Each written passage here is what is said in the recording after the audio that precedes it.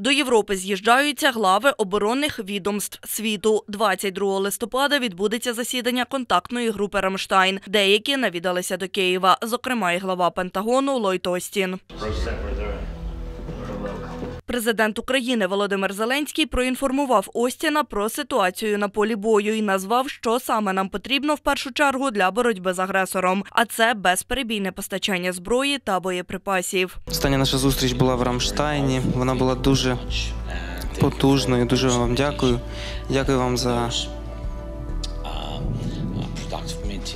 за запрошення на цю продуктивну зустріч. Ми дуже вдячні президенту Байдену. Це дуже важливо для нас, що Сполучені Штати разом з нами.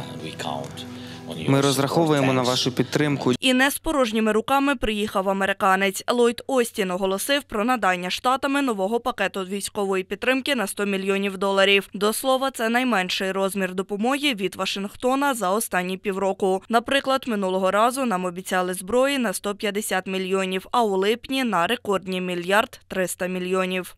Сьогодні я оголошую про ще один пакет військової допомоги на 100 мільйонів доларів за програмою президентських повноважень.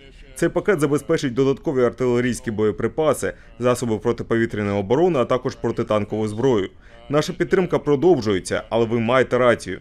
Інші союзники та партнери також долучаються до цієї допомоги. Поміж іншого отримаємо й нову пускову установку «Хаймарс» і ракети до неї. Днями начальник служби зв'язків із громадськістю командування сухопутних військ ЗСУ Володимир Фітьо повідомив, пріоритетне завдання наших захисників на зиму знищити логістичні шляхи окупантів. Чи достатньо для цього засобів від партнерів? Щоб знищити логістику росіян, потрібна велика кількість далекобійних ракет.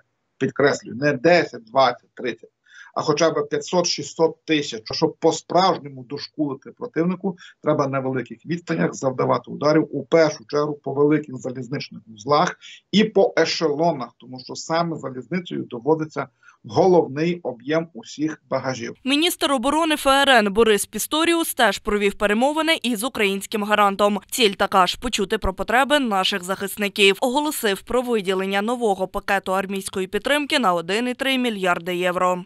Юлія Васильєва, новини 33 канал.